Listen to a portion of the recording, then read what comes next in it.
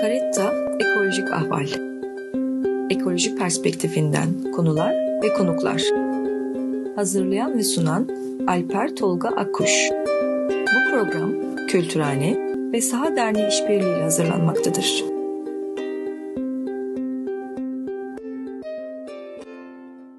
Karetta'ya, Kültürhane'ye, Saha Derneği'ne ve Mersin'e hoş geldiniz. Bu hafta Karetta'da Mersin'den bir konuyla karşınızdayız. Konu Mersin'den ama aslında dünya genelinde tüm dünya etkileyen bir konu arıcılık. Ve hemen ben sizi tanıştırayım konuklarımla. Sayın Adem Kurt, Mersin Arıcılar Birliği Başkanı. Adem Bey hoş geldiniz programa. Hoş bulduk, merhabalar. Ve Sayın Celal Çay, Eğri Çayır markasıyla en iyi bal ödülü dünya çapında alan organik bal üreticisi. Bey hoş geldiniz programımıza sizde. Hoş bulduk, teşekkür ederiz. Şimdi ilk olarak biz, arı, biz arıyız hareketine gireceğiz ama önce bir arıcılık, bal, arılar, dünyada ne durumda? Adem Bey'den onu alalım. Arıcılık hakkında biraz bilgi verelim izleyenlere. Arıcılık ne duruma geldi son dönemde? Çünkü iklim değişikliğidir, küresel ısınmadır, felaketlerdir hep kötü etkiliyor arıcılığı. Albert Einstein'ın bir lafı var biliyorsunuz. Dört sene arılar olmasa yaşam biter diyor Albert Einstein. 50'li yıllarda bunu söylemiş. Ve günümüzde evet. de aslında buna doğru bir gidiş var. Adem Bey sizden alalım. Arıcılık Mersin'de nasıl? Dünyada ne yönde? Şu andaki durumu bir özet alalım. Sonra konumuza daha geniş gireceğiz umarım. Öncelikle merhabalar. Herkese saygılar, selamlar. Ee, arıcılık Mersin'de e, ben Türkiye olarak önce bahsedeyim. Türkiye arıcılıkta dünya ikincisi. Ee, Türkiye arıcılıkta dünya ikincisi. Gerçekten ciddi potansiyel olan bir ülke. Gerek coğrafi şartları, gerek yapısı gereğiyle arıcılığa uygun bir ülke. Ee, bu şu yani Mersin'de Türkiye'nin tam bir aynası. Sıfır rakımdan e, sıfır rakımdan 2500-3000 rakımlara kadar üretim yapılan neredeyse dört mevsimin bir arada yaşandığı bir ülke, e, bir ilimiz Mersin. O yüzden arıcılar çok elverişli. Zaten e, elverişliğinden dolayı da yaklaşık Türkiye'de hem arıcılıkta hem üretimde de e, neredeyse ilk beşlerdeyiz her zaman. E, ciddi bir potansiyele sahibiz. E, arıcılık genel anlamda son dönemde etkilendiği bir kuraksal e, iklim değişikliğine bağlı bir sıkıntı var. Yani ben çocukluğumu hatırlarım. Çocukluk yıllarımızı hatırlarız. Eskiden e, o, o balları, o e, iklimi, o çiçekleri, o coğrafyayı artık ne yazık ki bulamıyoruz. Yani e, eskiden çıkardık Toroslara arılarımızı götürürdük. Böyle çiçekler arıların uçuşu, balı getirmesi gerçekten tatmin ediciydi. Şimdi ne yazık ki e, o yılları arar olduk. Bu da kurak, kurak, kuraklığa bağlı ciddi sonuçlar. Bu biraz arı sektörüne ciddi anlamda yani arıcı e, emeğinin karşılığını doğadan alamadığı için biraz e, geri planda durmaya başladı. O biraz sıkıntısı var. Bir de tabii ki son dönemdeki ciddi mali artışlara kaynaklı mesleği olan bir e, e, şu an talep duran diyebilirim. Yani çok bir artış yok. Sağ olun. Biz arı hareketine gelelim isterseniz. Haberlere biraz baktım ben. 20 Mayıs Dünya Arı Günü'ymüş. Onu da ben bugün öğrendim. Benim bir cahilliğim. Geçen sene evet. Mayıs Dünya Arı Günü'nde 2021'de Tarsus'ta bir köyümüzde başlamış aslında bu hareket. Celal Bey sizden de biz Arıyız hareketi nasıl oluşturuldu? Nasıl çıktı fikir? Ve başlama, baş, başlamasından bu ana kadar neler yaptınız? Bu hareketin arıcılığa, arılara ne yönde bir katkısı oldu? Onu alayım ben sizden de isterseniz. Biz arıyız bir e, sivil toplum projesi. E, Slow Food'la e, Erdemli Ticaret Odası, Tarsus Ticaret Odası, e, Mersin Arıcılar Birliği ile beraber yürüttüğümüz, Eğriçayır Balı olarak da beraber yürüttüğümüz bir sivil toplum e, projesi.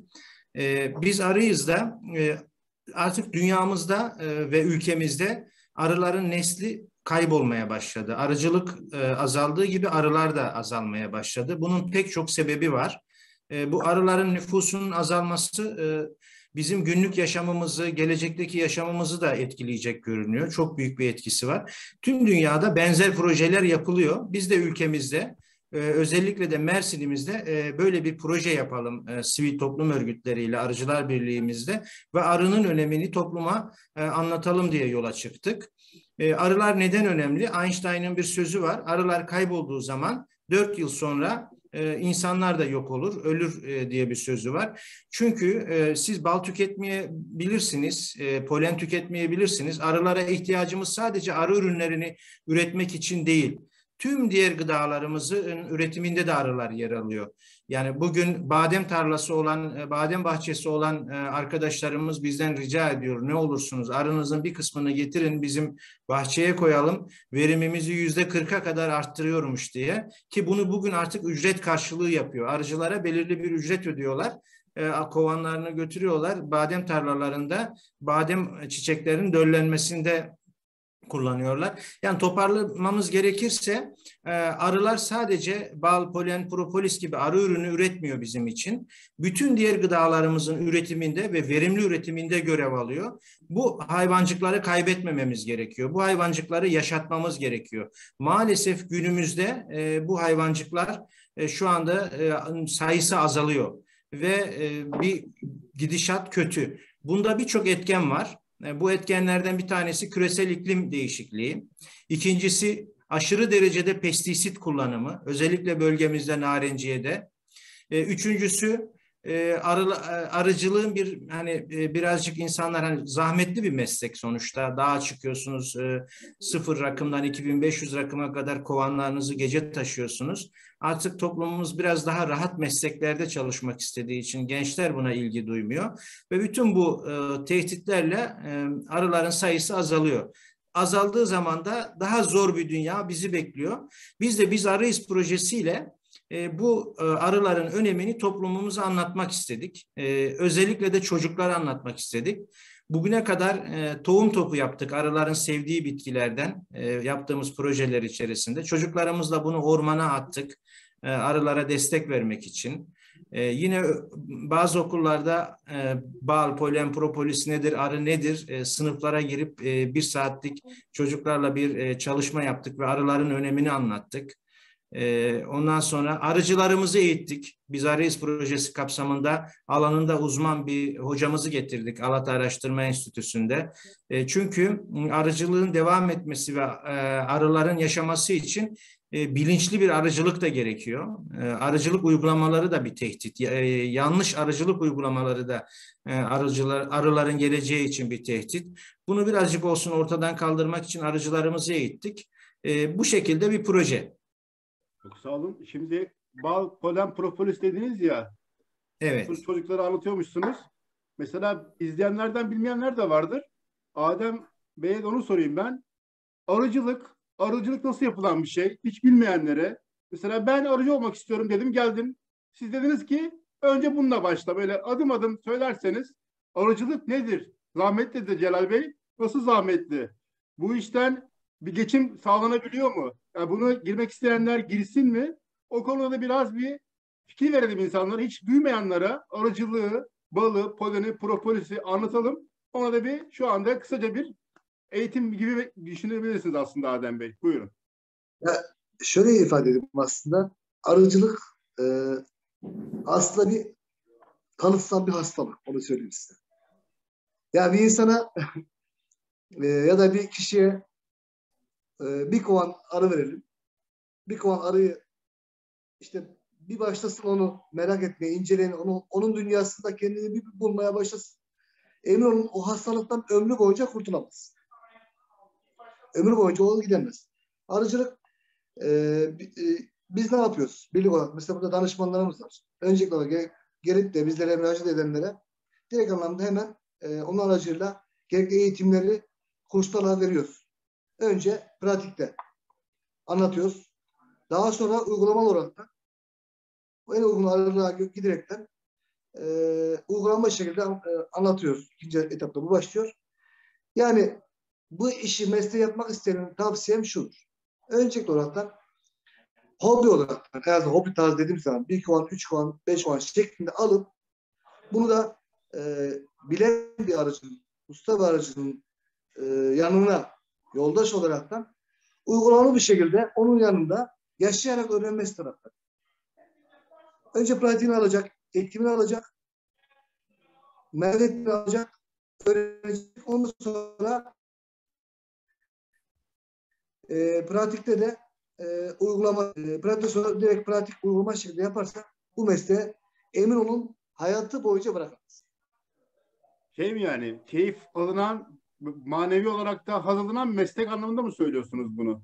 Arıcılığı. Tabii ki yani düşünün e, son zamanda e, her meslek grubu için geçerli. Ben üyelerimden öğretmeninden tutun doktoruna varınca mühendisinden tutun aklınıza alınmayacak bütün meslek gruplarının hepsi var bende. Yani e, o iş yoğunluğunu hafta sonu adam bir günde ya da iki günde arıyor. E, ağrıların yanında, ailesinin yanında o, o dünyada kendini artık e, başka dünya kuruyor. Bütün stresi yoluna atıyor ve üretim yapıyor aynı zamanda. O yüzden çok keyifli bir meslek. Ya o zaman demek ki arıcı bütün hayatını böyle geçirmeye, geçirmeyip mesela memurdur, polistir, ben işte emekli birisiyim, evdeyim. Herkes yapabilir bunu. Doğru mu anlıyorum dediğinizden? Bunu çıkardım ben şu anda. Ay, şu an zaten herkes gerçekten yapıyor. Yani ben de diyorum ya bütün meslek gruplarından arıcılarım var. Arta kalan zamanda e, boş zamanlarını arıcılıkla, o doğayla baş geçirip üretim yapıyorlar. Ve emekli olduğunda direkt bu ciddi bir üretici boyutuna geçiyorlar.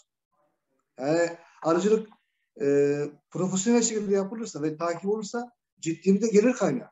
Yani ve düşük maliyetle, düşük girdiyle yapılabilecek gelir kaynağı. E, diğer meslek gruplarına göre. Peki bundan geçim, ya bu işi meslek olarak yapanlar bundan geçinebiliyorlar mı? Ekonomik olarak çok zor durumdayız.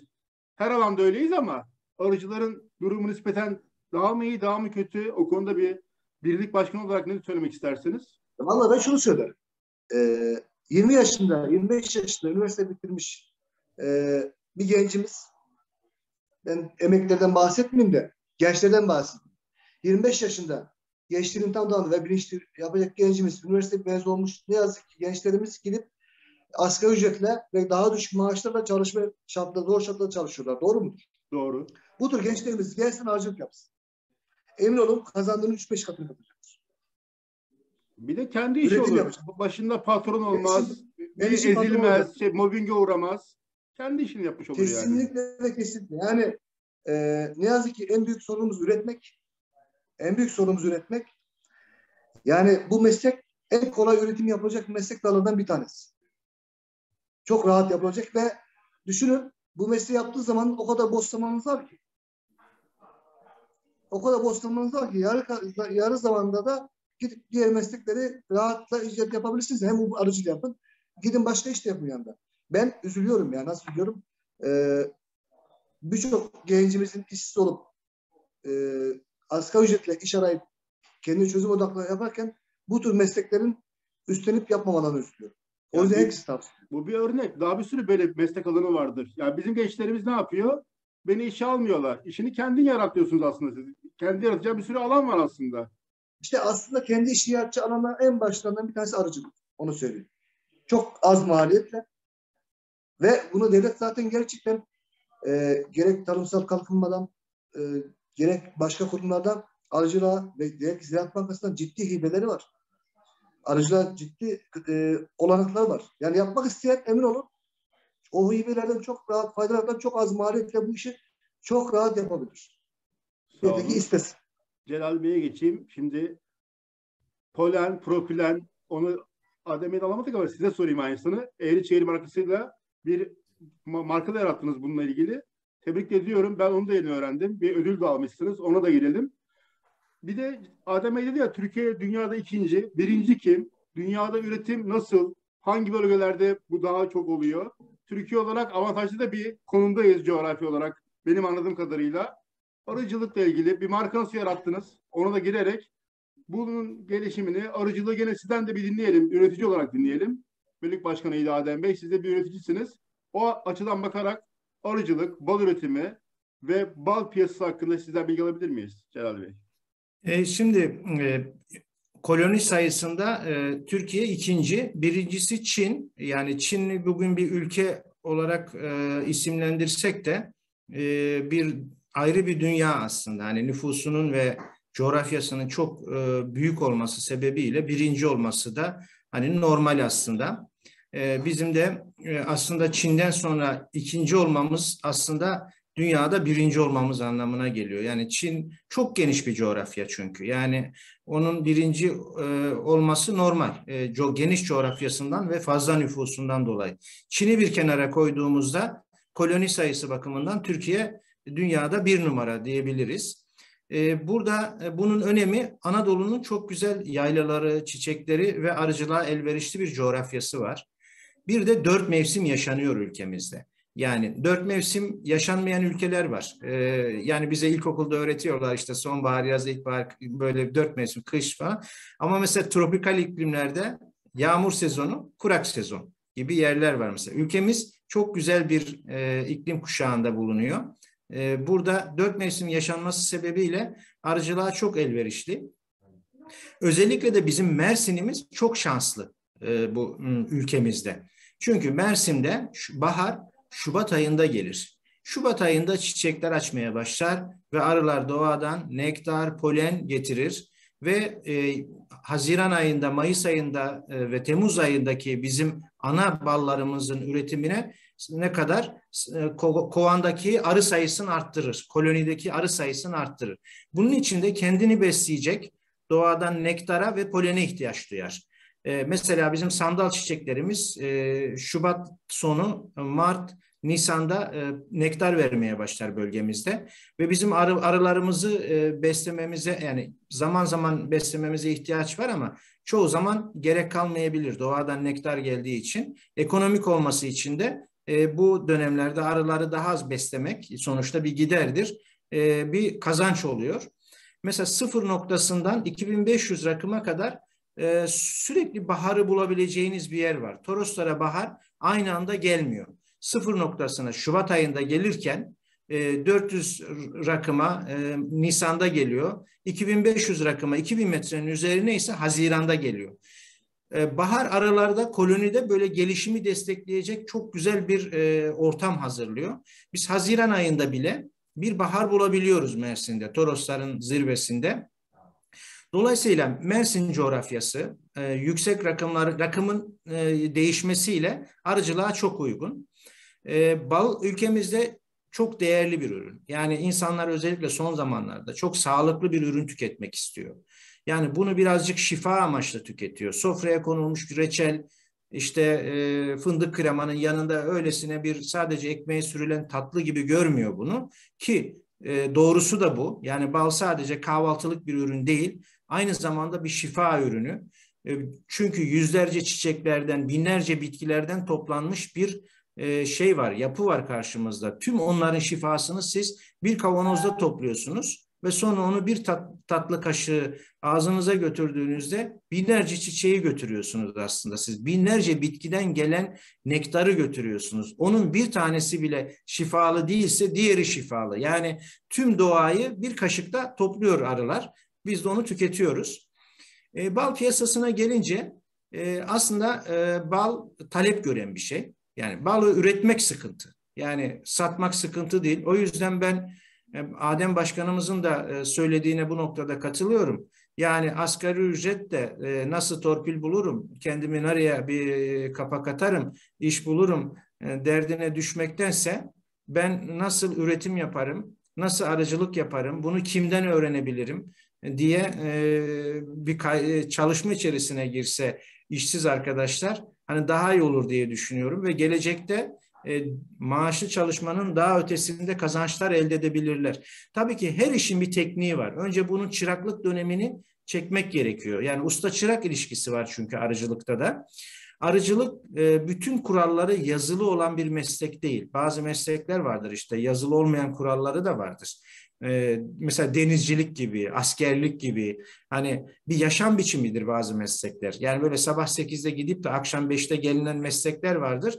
Bir de lifestyle dediğimiz yaşam biçimi olan meslekler var. Denizcilik gibi işte askerlik gibi. Arıcılık da böyle bir şey. Çünkü gece kovanlarınızı taşıyorsunuz. Uzun süre doğada internetin çekmediği elektrik, suyun, e, olmadığı bir ortamda yani siz doğayla baş başasınız. Bunun güzel tarafları da var. Ben bundan şahsen keyif alıyorum. Ama hani keyif almayacak e, arkadaşlarımız da olabilir. E, dolayısıyla e, bu yaşam biçimini bir e, koklayıp, bir kontrol edip kendi doğasına uygun olup olmadığını e, karar verip bu mesleği seçebilirler. Ama birkaç yıl mutlaka usta-çırak ilişkisinde usta bir arıcının yanında ona fiziksel anlamda yardım ederek ondan da karşılığında bilgi alarak kendi kovanında uygulayarak e, bu mesleği öğrenebilirler. Eğri çayır balı olarak 2019'da Kanada'nın Montreal kentinde dünyanın en iyi balını aldık. Dünyanın en iyi balı ödülünü aldık. Çünkü bizim coğrafyamızda e, Toroslar'da 2000 metrenin üzerinde artık ağaç yok. Sadece kır çiçekleri var. Bir de böyle yazın çok kurak geçtiği için kurak mevsime e, uyum sağlamış bitkiler var burada. Bunlardan toplanan nektardan üretilen ballar gerçekten lezzetli ve farklı oluyor. E, bunu e, biz götürdüğümüzde Dünya Arıcılık Örgütü'nün toplantısına her iki yılda bir farklı kıtada toplanıyor. Jüri üyelerini gerçekten e, etkiledi ve bizim balımızı dünyanın en iyi balı seçtiler Türkiye'den bir bal e, olarak ülkemiz adına da gurur duyduk. Yani ülkemizi de temsil ettik. E, dünyanın ikinci koloni sayısı olan bir ülke ise bu ödülü zaten ülkemize getirmemek birazcık anormal olurdu. Bundan sonraki yarışmalara da sürekli sadece biz değil diğer arıcılarımızın da katılmasını teşvik ediyoruz. Biz kendi kovanlarımızın yanında 50'ye yakın bizim kontrollü arıcılık yaptığımız işletmeler var. Beraber çalıştığımız. Onları iç denetim yapıyoruz, eğitiyoruz. Onların balını satın alıyoruz. O, arkadaşlarımızın da bu tür yarışmalara girmesi için gereken desteği veriyoruz. Çünkü ülkemizi bir ülkemiz bir bal ülkesi ve bunu tüm dünyaya göstermeliyiz diyorum. Şimdi e, ben de tam konu demişken kısmet olursa yine bu sene Ağustos ayında Apimon'da yine Türkiye alındı. Biliyorsunuz Rusya'daydı. Son olaylardan evet. dolayı Apimon'da yine bu sene e, gerçekten bir şanstır. Türkiye için şanstır. Bunu 3-4 yıl önce Türkiye'de yapmıştık. Yine bu yıl yine Türkiye'ye verdiler. İnşallah yine tüm dünyaya yine Türkiye'nin ve bizim balların sesi yine İstanbul'dan duyulmuş olacak bu sene Ağustos ayında. Da hepimize hayırlı olsun. Bey ne olacak evet. Ağustos tamam bir daha an, anlamadım onu da bir açalım mı orayı? Dünya Arıcılık Kongresi. Dünya Arıcılık evet. Kongresi. Yine Yücel Bey'in ödül aldığı kongre işte. Yine bu yıl Rusya'daydı normal etkinliği orada olacaktı. Savaş Tabii çıktığı için son, Türkiye'ye alındı. Oradan evet. savaş için Türkiye alındı. Yani aslında bu çok 20 30 yıllarda denk gelecek bir kongreyken yani 4 yıl önce yapmıştık bizim e, Türkiye'de. E, bütün dünya arıcılarını buluşturmuştuk. Şimdi yine kısmet olursa bütün dünya aracıları yine İstanbul'da, Türkiye'de buluşacak. kesin belli mi? Ağustos'un kaçında olacak? Belli mi? Ağustos'ta net tarihini e, e daha açıklanmadı ama Ağustos ayında dünya internetten İstanbul'da evet. buluşacak diye anlıyorum ben. Ağustos'un 20'li bir tarihi ama hani şu anda hatırlamıyoruz. Evet. Ee, internetten kontrol ama, edilebilir. Ama evet, bak, bakarız ona. Peki bir hazırlık var mı onunla ilgili? Mersin'den bir hazırlığınız var mı şu anda? Ne yap bir şey planlıyor musunuz? Olacak, olacak. Orası için e, biz de hazırlık yapacağız. Çünkü biz Mersin'de ne yaptık? E, mesela burada biz aynı zamanda üyelerimizin balını bir pazar arayışına girdik. Sonuçta üyemiz üretiyordu. Balını, arı ürünlerini, propolisini, polenini. Bununla ilgili önce dedik ki yerelden başlayalım. Yerelden başladık. Büyükşehir Belediye'mize görüştük Mersin'de. Sağ olsun Büyükşehir Belediye'miz bize destek sundu. Projeyi e, anlattık. Dedik ki biz balımızı üretimimizi aldık. Biz bunu dolum tesisimiz var. Alalım, ambalajlayalım. Siz de bize satış imkanı bir yeri sunun. İşte şu an bir tane Dumlupınar Lisesi'nin orada hemen kavşakta bir tane bal evi açıldı. Bütün dış kapını, her şeyini e, arı kovanı şeklinde, karı kovanı şeklinde yaptı. Ahşaptan güzel çıktı bir konsept oldu. İlkini açtık. Satış yeri sunduk. Biz üyemizden balı piyasanın üzerinde alıyoruz. Sonuçta biz karamacı gütmüyoruz. Piyasa üzerinde mallar alıp dolumu yap. Ee, aynı zamanda tüketiciye, Mersin halkına öncelikli olarak daha uygun fiyata pazarlama imkanı bulduk. İlk, e, ilkini or oraya açtık. İkincisini Mezitli'ye açıyoruz bugünlerde kısmet olursa. Bir tanesi Tarsus ilçemizi açtık merkezi yerlerde. Yani birlik olarak aynı zamanda üreticinin ürettiği ürünleri pazar noktasında yavaş yavaş açılmaya başladı. Tabii bu konuda Celal Bey dünyaya açıldı. Evet. O da bizim üyemiz. bizim gurur kaynağımız. İsterim ki e, daha da e, bütün üyelerimiz aynı konsepte ilerlesin. Mersin'imiz, balımız herkese tanısın. Ben burada başkanımın e, şeyine bir şeyler eklemek Tabii, istiyorum. tabii. Şimdi arıcılığa yeni girecek arkadaşlar balda pazarlama sorunu var mıdır diye düşünebilirler. Öyle bir sıkıntı yok. Sadece ilk 1-2 yıl hani o meslekte yeni olduğunuz için sizin bal ürettiğinizi belki çok az bilindiği için zorlanabilirsiniz. Onu da zaten e, birliğimizin e, açtığı bu büfelerde, bal büfelerinde e, pazarlama imkanı var. Birlikle işbirliği içerisinde birlik satın almasını yapıyor. E, ama sonradan zaten e, çevrenize e, hobi aracı ya da hobi profesyonel arası ölçekte bir aracılık yaptığınızda da mutlaka hani pazar sorunu yok e, balda. Çünkü bal şifalı bir ürün. Sevilerek de tüketiliyor ülkemizde. E, sadece ülkemizde değil dünyanın her tarafından bize bal soran oluyor. Ama biz hani çikolata üretir gibi ne kadar sipariş o kadar bal üretme durumunuz olamıyor. Doğa ne verirse e, dolayısıyla balda kritik nokta e, yani sadece bal değil arı ürünlerinde üretim. Yani pazar sorunu yok ama üretim sorunu var mı? Var. Evet küresel iklim krizinin bir etkisi var arılarımızda mesela. Geçen sene çok zor bir yıldı kuraklıktan dolayı. Bu yıl yağmurlar birazcık bizi ümitlendirdi. Bu kışın yağan bol kar, soğuk hava. Hani iklimler biraz rayına girdi gibi görünüyor ama inşallah önümüzdeki yıllarda da devam eder. Bir de bu samyeli oluyor e, doğayı kurutan Mayıs, Nisan, Mayıs aylarında güneyden gelen çok sıcak bir rüzgar. Bu da arı, arıcılığı e, şey olumsuz yönde etkiliyor. İnşallah bu sene öyle bir şey olmaz.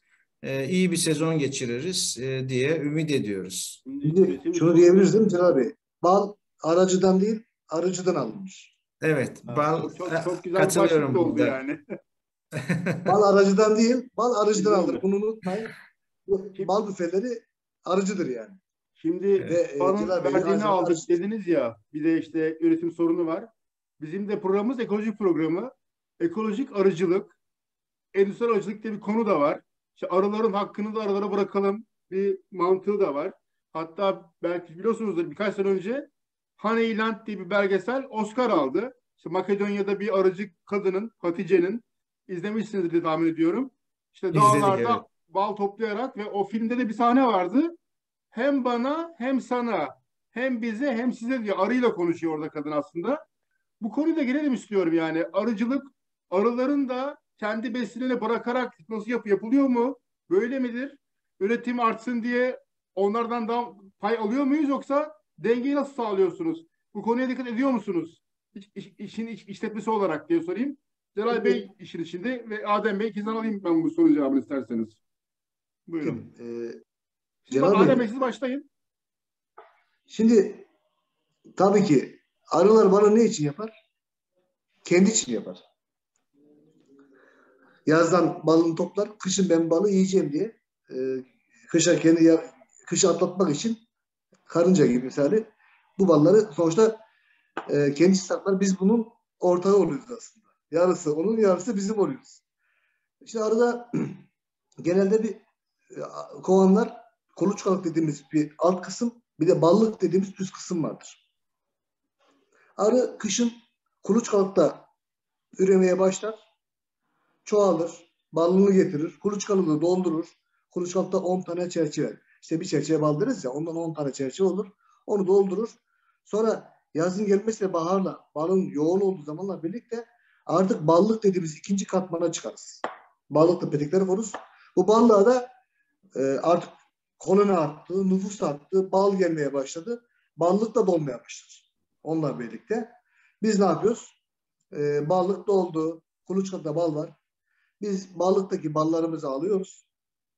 Kuluçkada balları da e, kovanımıza geri bırakıyoruz. Diyoruz ki yarısı senin, yarısı benim. Üstteki ben aldım, alttaki senin hakkı sen yiyeceksin. Kışın ölme diye. Çalışma sistemi bu şekilde. Ya Zaten arıcıların kendi bacağı sıkması demektir hepsini alsa. Arı ölürse arıcının da işi Aynen kalmaz öyle, aslında yani- mantık olarak bakarsak yani. Aynen öyle. Yani hepsini aldığın zaman o arıyı sıkıntıya sokarsın, stres sokarsın. Ne kadar e, e, besleme yapsan da şekerle ya da e, şeker şeker besi yapsan da o balığı yine tutmaz. Mutlaka arı kendi doğası gereği ve e, sağlığı açısından kendi sağlığı ve doğal üremesi açısından mutlaka e, yiyeceği kadar o balın kıvamında bulunması lazım. Yoksa e, hem e, alırsan diğer sene hem kolonu kaybedersin hem sağlıklı arı üretemezsin. Tüm sağlıklı şey galiba. Buyurun. Şimdi başkanım e, güzel açıkladı. Ben ona bir iki ekleme yapmak istiyorum. Şimdi arılar bizden önce, insanlıktan önce dünyamızda e, olduğu için e, sürecini bir takım e, iyileşme süreçlerini, yaşam e, yaşamdaki iyileşme süreçlerini bizden erken tamamlamış görünüyorlar. Öncelikle çok sosyal hayvanlar. Yani koloni içerisinde bir düzen var. E, bir arının ömrü 45 gün e, oluyor yazın bal sezonunda, kışın 3 ay. E, arılar çok akıllı hayvanlar. E, bal toplanacağı mevsimlerde yani Nisan ayından sonra nüfusunu öyle bir arttırıyor ki 10 katına 20 katına çıkarıyor. Yani iki çerçeve kışın iki çerçeve üç çerçeve olan arı Haziran ayında 20 çerçeve olabiliyor.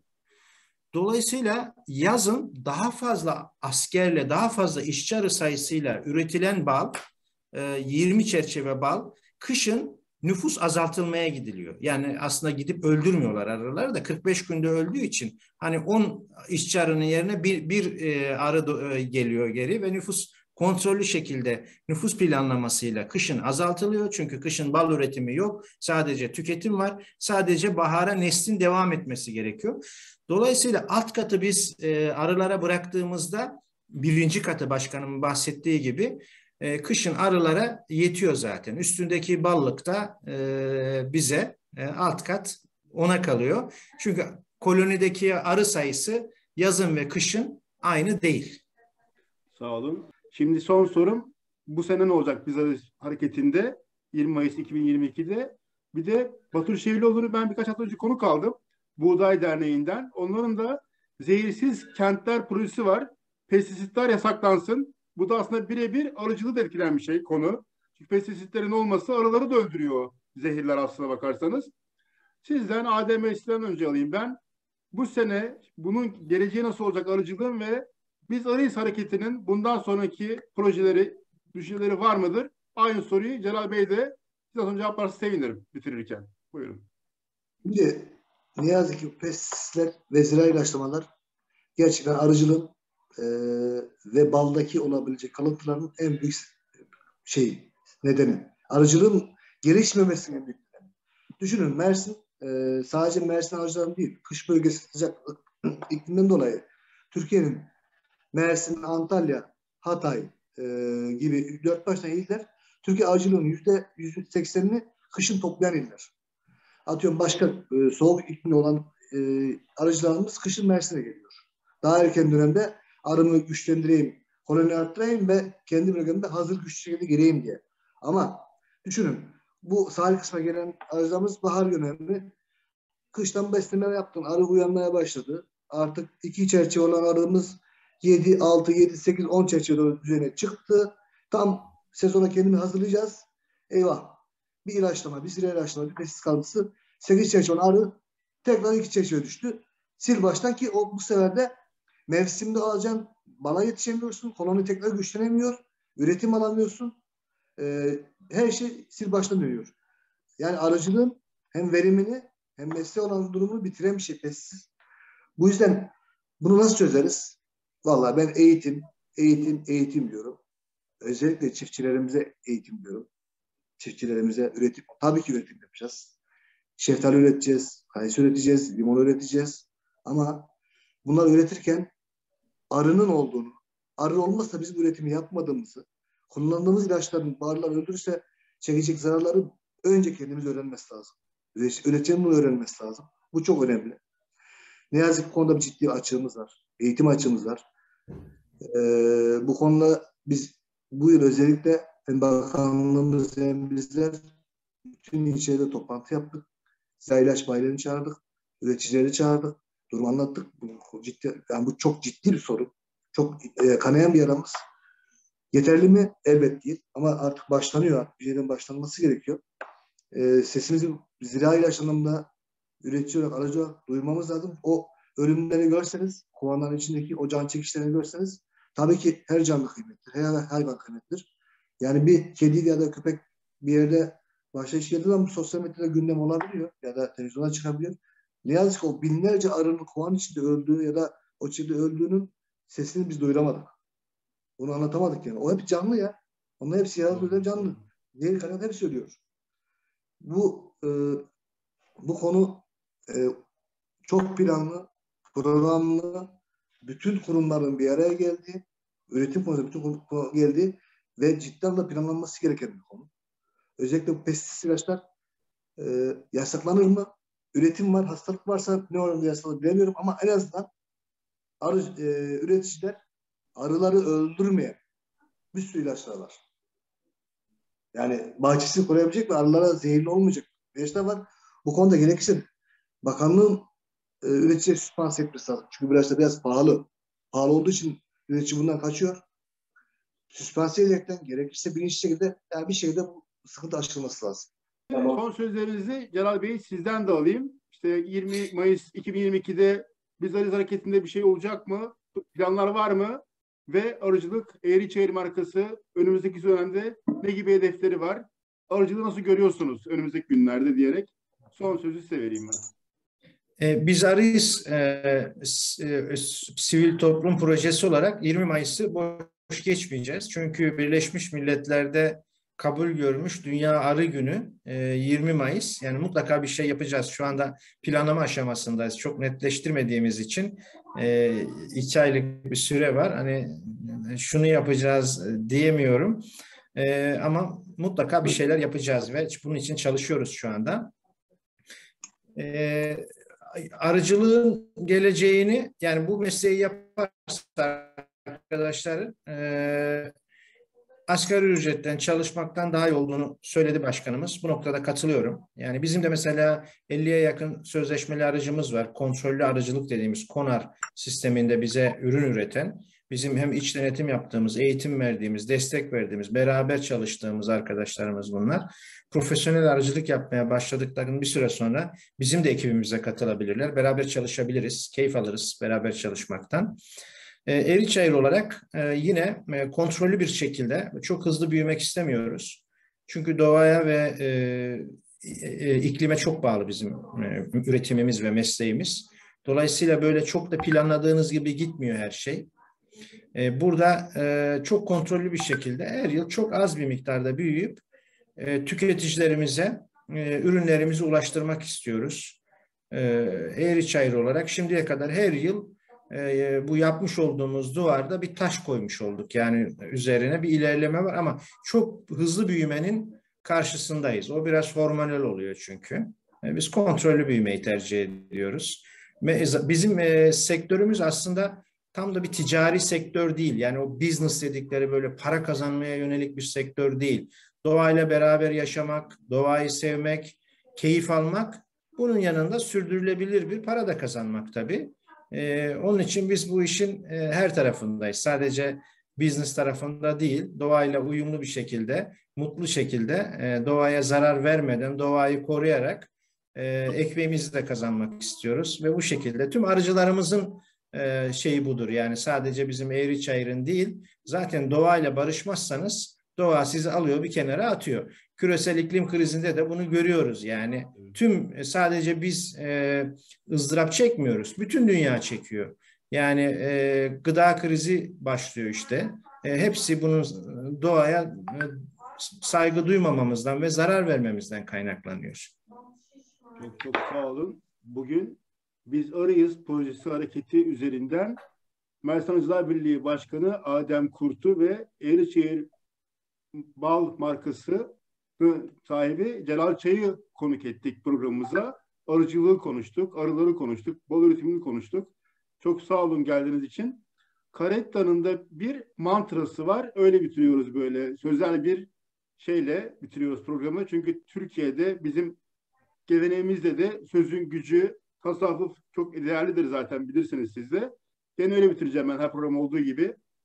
Karetta ağır ağır ama sebatla el ile, göz ile, diz ile bir araya gelince elbet söz ile, sözü söze ekleye ekleye muhabbet ile.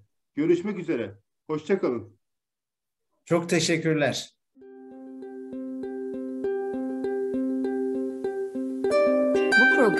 Kültürhane ve Saha Derneği işbirliğiyle hazırlanmaktadır.